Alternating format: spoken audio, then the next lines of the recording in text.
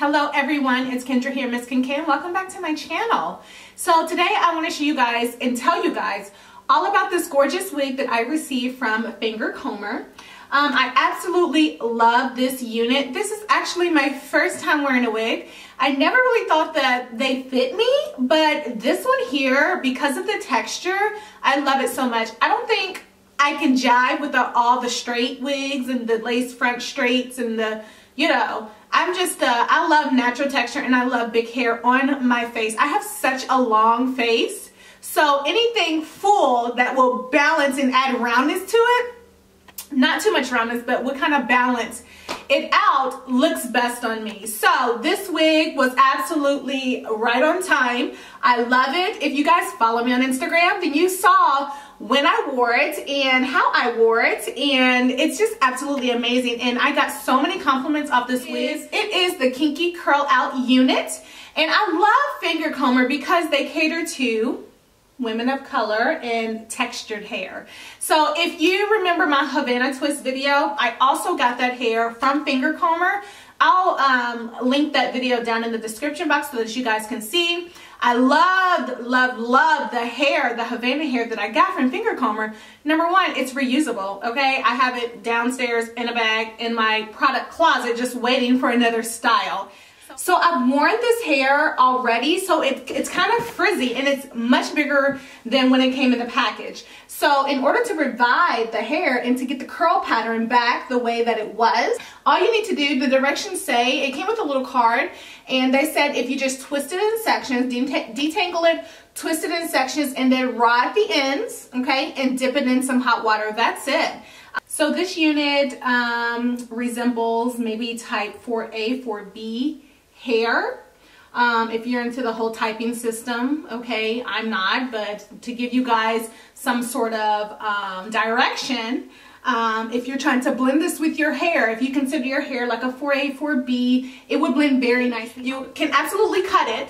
Um, I have a really small face, so it may look super big on me, but I've seen other people wear it and it wasn't this long on them. Maybe they cut it but this is like the original length that I got with the um, with the unit.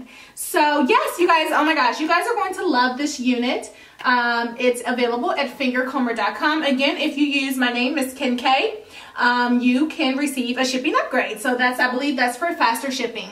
Anyway, you guys, without further ado, here is a little clip of the, the unit. And I'm also going to show you guys how I got this style with the top knot here. It's really cute. It looks very natural. Your edges are exposed and your roots are exposed. So it makes it look much more natural.